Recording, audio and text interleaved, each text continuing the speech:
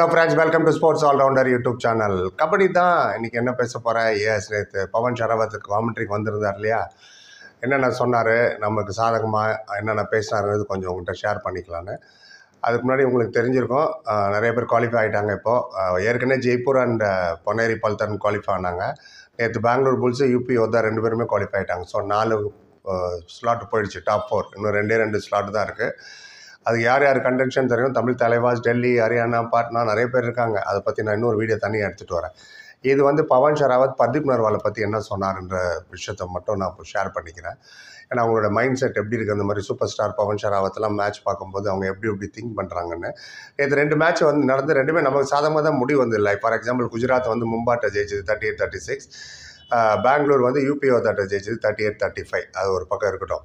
Right coming back to நேற்று மேட்ச்சில் நீங்கள் பார்த்தீங்கன்னா த்ரூ அவுட் அவர் தான் ஹிந்தியில் காமெண்ட்ரி கொடுத்துட்டு இருந்தார். பவன் சொன்னார் எஸ்பெஷலி பெங்களூர் புல்ஸ் மேட்ச் நடக்கும்போது ஏன்னா இவர் ஏற்கனவே பெங்களூர் பிளேயர் வேறு உங்களுக்கு ஞாபகம் இருக்கும்னு நினைக்கிறேன். பெங்களூர் புல்ஸ் யூபி வந்தப்போ அவர் சொன்ன சில வார்த்தைகள் ஹிந்தி கிடக்குன்னு சொல்கிறேன் அப்புறம் நான் ட்ரான்ஸ்லேட் பண்ணுறேன் அண்ட் जैसे बुल्स ने शुरुआत की थी, बेहतरीन थी डिनर है अपना बीच में डाउनफॉल आया था, लेकिन अब वापस आ गई है। और जमींदारी से सौरभ नरवाल पर जमींदारी तो सौरभ नरवाल पर है कि वो प्रदीप नरवाल को टैकल करे, बाहर ही रखे। प्रदीप को जितना हो सकता है, बाहर रख रहे हैं वो लोग यू नो दस मिनट दस मिनट से ज़्यादा बाहर बैठा हुआ है प्रदीप पहला हाफ़ में। कैसे मुकाबला जीतेंगे यू नो आज प्रदीप चल नहीं रहा। बुल का प्लान यही था कि प्रदीप को बाहर रखें। அப்புறம் பாரத்தை பற்றி சொல்லும்போது பாரத் पाँच या दस सेकंड में एक एक पॉइंट लेके राइड लेके ख़त्म कर देता है उसको रोकना पड़ेगा पाँच दस मिनट बस पाँच दस सेकंड में कैसे दे सकते हैं இதில் சம் ஆஃப் த வேர்டிங் அவர் சொன்னது ரைட் சில பேர் ஹிந்தி சொல்லாதங்கிறீங்க சில பேர் ஹிந்தியும் சொல்லுங்கள் சாருங்கிறீங்க அதனால் நான் காமனாக ஹிந்தியும் சொல்லிடுறேன் அவர் என்ன சொன்னார்னு தமிழ் டிரான்ஸ்லேஷன் பார்த்தீங்கன்னா பெங்களூர் புல்ஸ் ஏற்கனவே விளையாண்டதுனால அதை பற்றி நிறைய அவருக்கு தெரியும் அண்ட் யூனோ ஸ்டார்ட் பண்ணது ரொம்ப நாளாக ஸ்டார்ட் பண்ணாங்க பெங்களூர் புல்ஸு அதை அப்படியே மெயின்டைன் பண்ணிகிட்டு இருக்காங்க ஆனால் கொஞ்சம் டல் பீரியட் வந்தது. த்ரூ த்ரூ த டோர்னமெண்ட் நடுவில் இப்போ திருப்பி அவங்க எந்திரிச்சு நின்ட்டாங்க பெங்களூர் புல்ஸு ரொம்ப ரெஸ்பான்சிபிலிட்டியோட சௌரப் நார் தா- ந- நந்தால் விளாட்றாரு அவரோட மெயின் வேலையை பர்தீப் நர்வால் வெளில உட்கார வைக்க வேண்டியது தான் பரவா பர்தீப் நர்வால் எவ்வளோ நேரம் வெளில இருக்காங்களோ அவ்வளோ எவ்வளோ இவங்களுக்கு அட்வான்டேஜ் மேட்ச் ஜெயிக்கிறதுக்கு. பத்து நிமிஷத்துக்கு மேலே வெளில உட்காந்துருக்காருன்னு ஃபஸ்ட் ஹாஃபில் சொன்னார் அவர். அப்போ ஸ்கோர் ஃபிஃப்டீன் லெவன் இருந்தது score Bengal Bengaluru fifteen UP eleven ஏன்னா பத்து நிமிஷத்தில் பத்து நிமிஷமாக ஃபஸ்ட் ஹாஃபில் வெளில உட்காந்தாருன்னா fifty percent of the time மேட்டில் இல்லை. அவங்க நல்ல ஸ்ட்ராட்டஜி ஒர்க் அவுட் பண்ணாங்க. இன்றைக்கி பர்தீப் நர்வாலுக்கு கேம் நடக்கவே இல்லை சரியாகவே விளையாடல அப்படின்னாரு. ஆக்சுவலாக பார்த்தா கடைசியில் மேட்ச் முடியும்போது பத்து பாயிண்ட் எடுத்தார். யார்? பர்தீப் நர்வால். கடைசியில் ரெண்டு மூணு பாயிண்ட்லாம் எடுத்தார் அதனால தான் மார்ஜின் கம்மியாக வந்தது டிஃபீட்டு அண்டு பெங்களூர் புல்ஸ் நல்ல பிளானோடு வந்திருக்காங்க. எப்படி uh, இவங்களை அட்டாக் பண்ணணும்? பர்தீப் நர்வால் ஓரமாக வச்சுட்டா போதும்னு உங்களுக்கு தெரியும்னு. பெங்களூர் பஸ்ஸில் பரத்தை பற்றி சொன்னார். பரத் அஞ்சு ஆறு அஞ்சு செகண்ட் ஆறு செகண்டில் ஒரு ரைடு முடிச்சுட்டு போகிறாரு அது மாதிரி அலோவ் பண்ணவே கூடாது. மேக்ஸிமம் அவரை வச்சாதான் நம்ம ஜெயிக்க முடியும். எந்த ஒரு டீமுமே அஞ்சு செகண்ட் பத்து செகண்டில் எப்படி விட்றீங்க? பதினஞ்சு செகண்டான ஹோல்ட் பண்ணி வச்சுருக்கணும். எனிவே இது இதெல்லாம் தான் சம் ஆஃப் த திங்ஸ் அவர் சொல்லிட்டு இருந்தார்.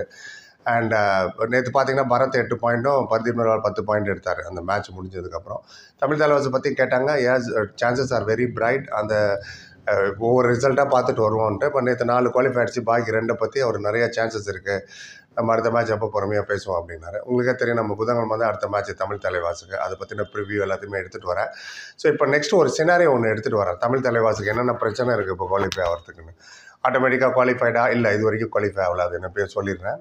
குவாலிஃபை ஆகிறதுக்கு என்னென்ன நடக்கணும் எந்தெந்த ரிசல்ட் நமக்கு சாதகமாக போகணுங்கிறதும் தனி வீடியோவாக எடுத்துகிட்டு வரேன். நல்லா பெருசாக போயிட்டுருக்கோம் அண்டு மொத்தத்தில் நேற்று நடந்தது தான் ஃபஸ்ட்டு ரெண்டு மேட்சும் நேற்று நடந்தது சண்டேனால் அண்டு இட்ஸ் ஓகே அப்புறம் நிறைய பேர் கேட்டிங்க ஃபைனலில் டை ஆகிடுச்சுன்னா என்ன சார் பண்ணுவீங்கன்னு? ரெண்டு ஸ்கோரும் இப்போனா ஆளுக்கு மூணு மூணு பாயிண்ட் தராங்க அதுக்கு ஒரு சினாரியா இருக்குது ஃபைனலில் இப்போ கிரிக்கெட்டில் எப்படி சூப்பர் ஓவர்னு ஒன்று இருக்கும். ஃபுட்பாலில் தேர்ட்டி மினிட்ஸ் எக்ஸ்ட்ரா டைம் தருவாங்க.